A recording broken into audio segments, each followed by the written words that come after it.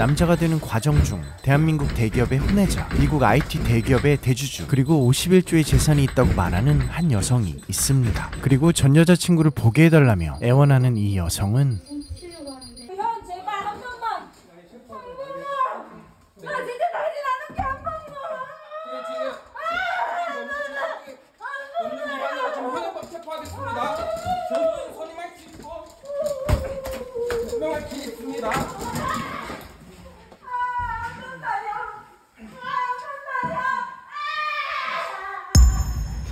누구보다 진심으로 사랑했습니다.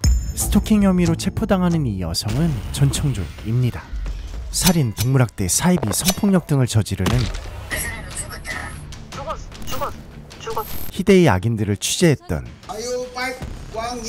웨이브 오리지널 악인 취재기 새로운 시즌 첫 화가 공개되었는데요. 매주 금요일 웨이브에서 공개됩니다. 신인이 아니고는 있을 수 없는 일. 청조가 제일 무서워하는 것 같아. 진짜 뭐 로또 쪽이 아닌가. 빨리 구해야 된다고 생각했어요 사람들을 여기는 여수. 라는 사람이 전라남도 여수의 삼겹살 거기를 운영했어요. 자기가 뭐 천안인가든가 뭐 거기서 건물도 몇 개고 200 몇억 불 갖고 내려왔고 아 전 청소랑 똑같네요 진짜. 그러니까 나는 너무 소, 소름을 끼치는 거예요. 너무 똑같으니까 행동. 전청조와 수법이 너무나 유사한 한 남성이 여수에 있다는 제보를 입수한 취재팀. 여수에서 삼겹살집을 크게 하던 어떤 남자가 있는데 사라졌대요. 근데 그 남자가 와이프라고 불렀던 여사랑 같이 동업을 했는데 문제는 그 여성의 명의로 렌탈이고 대출이고 돈 되는 건 다 해서 어마어마한 빚을 남기고 사라졌다는 거예요. 저희 집 담보를 받아서 했고 네. 차도 렌트를 두 대를 빌려가지고 지금 그것도 저가 빚을 갖고 있고 내가 멍청해서 그렇게 된 거니까 당시 와이프라고 부르고 같이 동업을 했던 여성에게 너무 잘해줬다는 거예요. 코로나가 오면서 이 가게가 너무 어려워지잖아요. 이때부터 이자의 본 모습이 나타났죠. 원래는 이, 월세 200만 원하고 사용료 100만 원이잖아요. 결금 부탁드립니다. 연락 주세요 하니까 며칠째 의식이 없으십니다. 여기 상황 심각합니다. 혈압으로 쓰러지셨습니다. 전청조와 너무나도 유사한 말투와 행동이네요. 가게를 내놓게 됐는데 오랫동안 팔리지 않던 가게가 다행히 팔리게 되고 계약금이 조금 들어왔는데 그 현금을 가지고 그대로 사라졌대요. 그 와이프라고 불렀던 그 여자분이 화장실 간 사이에 언니 날랐어. 그래서 도망갔어. 그러면서 그리고 차에 신분증 하나를 놔두고 갔는데 저희 너무 궁금했죠. 이 사람은 대체 누구일까요?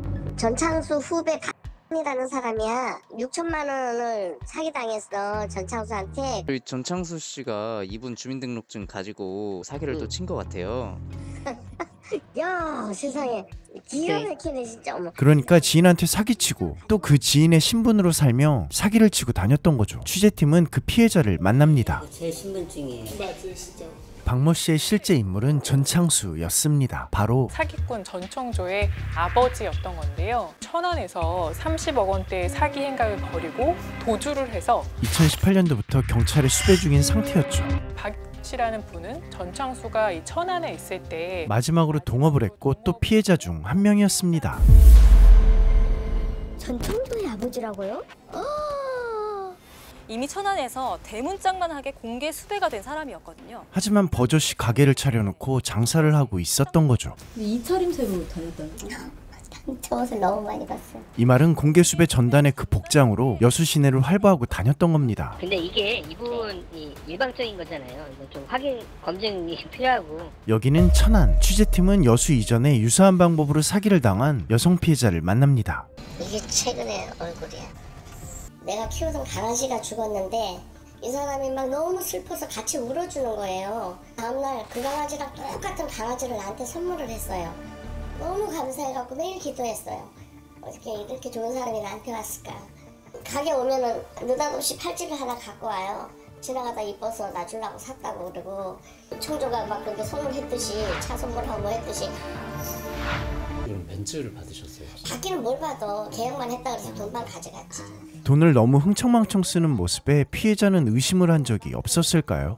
자기네 집이 저기 재개발 들어가갖고 90억이나 뭐 지- 저기를 보상을 받았다 하고 막 나중에 피해자들은 전창수에 대해 자체적으로 수사를 하게 되는데 거기서 알게 된 건 피해자들에게 접근하기 전 재력이나 어떤 사회 상황 등에 대해 사전 조사를 거친 뒤에 피해자에게 접근을 했던 상황이었던 거죠. 이 사람이 전화를 내 전화로 썼잖아요. 그래서 통화 내역들을 전부 뽑아 한 사람 한 사람 만나러 다녔고 나 만나기 전에 어떤 여자한테 10억을 갖다가 횡령하고 갔다고 그러더라고. 전창수의 수법은 뭐였냐면 이때 전창수는 천안에서 부동산 관련 법인을 설립하고 부동산 사업 활동을 명목으로 투자를 받습니다. 그때 투자금을 개인들로부터 받아서 잠적을 한 거죠. 10월이면 완공이 된다 그랬어. 분양이 다 된다고. 사장님도 뭐 50억, 뭐 나도 10억. 문제는 전창수가 신불자라 피해자의 명의로 법인을 만들었고 투자금을 모아 법인카드로 생활을 했었는데 전창수가 잠적한 이후 모든 채무를 감당하게 됐던 거죠. 여기는 전창수가 사무실을 얻었던 곳입니다. 그런데 여기에는 배밭 조합원 사무실이 있었고 우연이 아니었죠. 배밭 주인들이 돈이 많다는 사실을 알고 그렇지. 밑에 사무실 얻은 거지. 계획이 얼마나 되시는데요? 500만 원 벌어봐. 근데 괘씸한 게이 인간이 그 도망가기 전전날인가 그 500을 빌렸다. 그때 벌써 이- 저기 돈이 한 2, 30억 됐어요.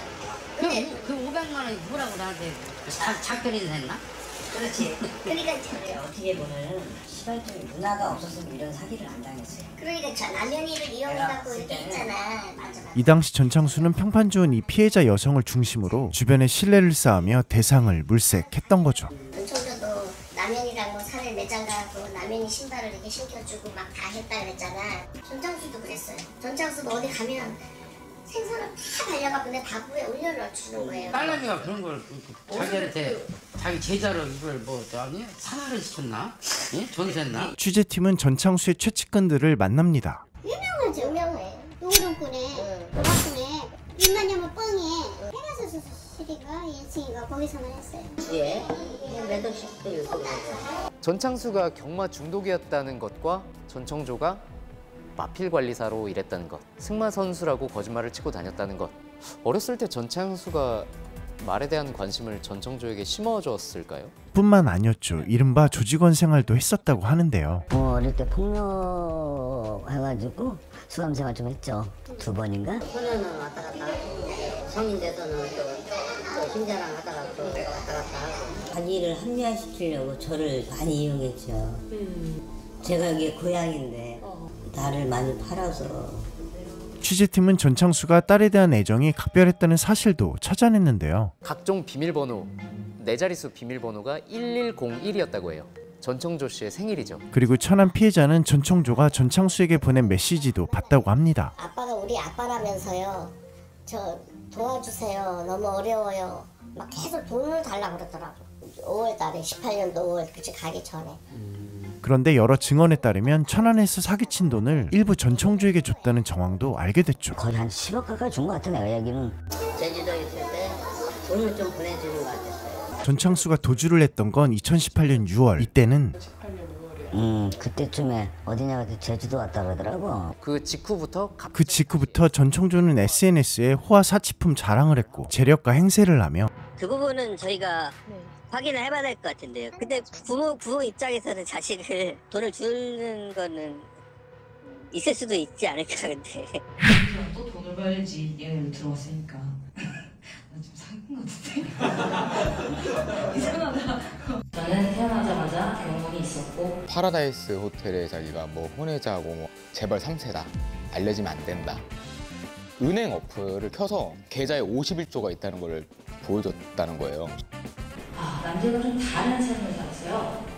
레스토랑 가면 메인 코크가 뭐고 메인 라이프가 뭐고 이런 것들을 배우면서 사실 살아왔어요.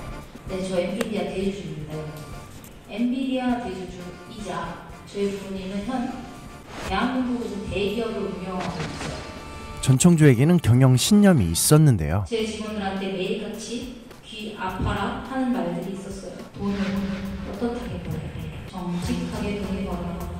전청조 사기 피해자들의 증언은 이어집니다. 하지만 어느 것 하나 일반적이진 않았죠. 한 이유가 예, 일반인들이랑 이렇게 어울려서 결국에는 파라다이스 뭐 전필립 회장을 화났다. 지금 보면 황당한 이야기들이지만 이때는 아니 전 믿었다니까요. 그때까지 계속. 그리고 죽었다던 전청조가 부활을 합니다. 12월에 말했고 1월 중순쯤에 뿅 하고 나타났어요. 갑자기. 내가 사실은 뭐 파라다이스에 죽은 척을 한 거다. 그래서 아빠는 내가 죽은 줄 안다. 그리고 얼마 후 파국을 맞이합니다. 남현이와 전총조는 모 잡지에 결혼 발표를 했고 그 잡지의 내용들은 전총조의 어릴 적 지인들에 의해 수많은 의혹의 불씨들이 생겨났고 남현이의 유명세와 더불어 산더미처럼 불어났던 거죠.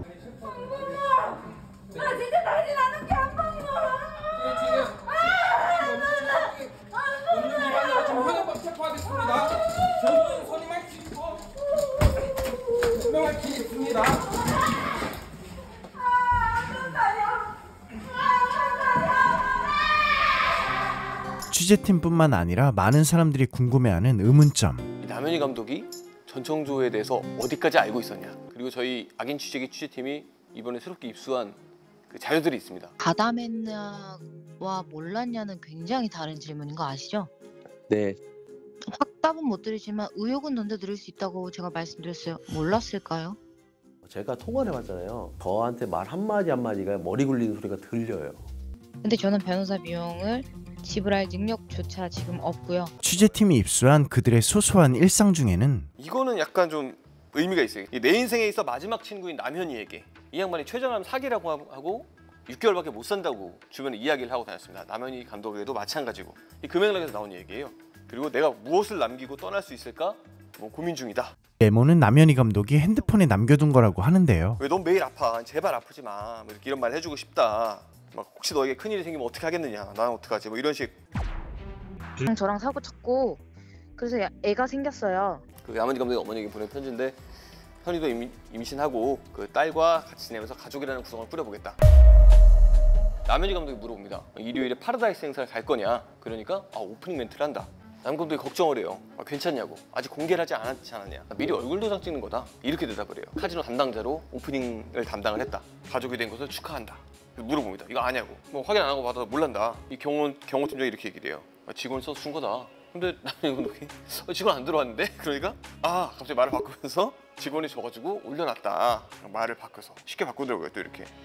처음에 알게 됐는 게 이제 인, 인스타 DM으로 이제 자기가 연락이 왔었어요. 2015년 전총조는 이 남성에게 결혼하자며 돈을 요구했고 그 돈으로 그 당시 실제 연인이었던 한 여성과 결혼을 했던 거죠. 그 양은 유부녀였어요. 그래서 그 여성의 남편에게 발각되고 전총조가 정신과 치료를 받는 조건으로 형사고소를 하지 않는다는 약속을 하게 됩니다. 나온 진단서를 보니까 좀 많이 아- 마음에 안 좋게 나왔었어요. 현실과 자기가 만든 허상의 세계를 구분하지 못한다는 그게 좀 심, 심하다고. 너무 웃겼어요. 대한민국에서 자산이 가장 많은 것으로 알려지셨는데 혹시 사실인가요? 뭐 파라다이스 전 회장과 관계가 어떻게 되나요? 뭐 이쪽에서 막 화내면서 지금 뭐 하시는 거냐고 뭐 식사 중인 거 안 보이냐? 신용도가 어떻게 되는데요? 저 1등급이요. 전 청조의 신용 등급이 최하위 등급이었거든요. 저도 그들에겐 진심이었어요. 하지만 돈이 오고 갔기 때문에 제 진심이 무너진 것도 마- 맞고요. 근데 저는 제, 저의 죄값을 줄이기 위해서 뭔가 피해 회복을 하겠다는 아니에요. 제가 그분에게 할 수 있는 게 뭘까? 내가 나와서도 갚을 수 있는 차용증이라든지 이런 부분에 대해서 쓰자. 현재 제 입장은 이렇고요. 어 잠깐만요. 저 경찰 전화 좀 드릴게요. 네, 알겠습니다. 전총조는 피해자들에게 구치소로 찾아와 달라고 한 적이 있는데요. 차용증을 받으려고 노력하는 과정에서 전총조의 어머니가 등장합니다. 친구한테 편지를 써서 어, 체력증을 받아서 6개월 안에 갚는 거를 얘가 나가서 그 돈을 찾을 수가 있으니까 차라리 돈을 받는 게 나으시잖아요. 이렇게 고생하셨는데 그쵸? 몇 살이에요? 스물여덟. 그 나이 때는 잘 모르겠 지만 엄마한테 잘하세요.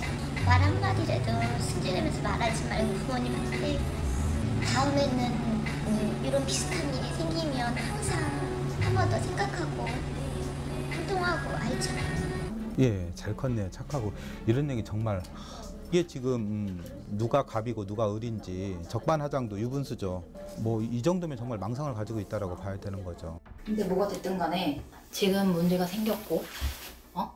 난 이걸 빨리 대처하려고 해 근데 내 얘기 잘 들어 그 돈 받고 싶지 당연한 거 아니야? 나랑 오늘 차용증 쓰고 차용증으로는 진짜 안 되지. 조용히 말해 왜 안 돼? 또 뭔가 얘기를 더 하려고 하면은 조용히 해, 입 닫아. 이게 되게 되게 독특한 건데 청주 엄마가 나한테 예전에 했던 말이 뭐 이미 총력 구수됐는데 내가 니한테 돈 줄 이유가 있나 하면서 이래 있거든요. 본인이 멈출 수 있는 시간도 있었습니다. 한 편의 드라마를 본 것 같다고. 스스로를 속이는 데 성공한 사람들이 어떻게 사기를 당하고 그 사기의 피해가 어떻게 남는지를 보여주고 싶었습니다. 가장 약한 부분을 힘든 순간 집요하게 파고들어 잡고 늘어지는 게 사기꾼들이죠. 이들에게 가족이나 친구는 사기를 안 쳐야 될 대상이 아니라 가장 마지막에 치는 순서일 뿐일지도 모릅니다.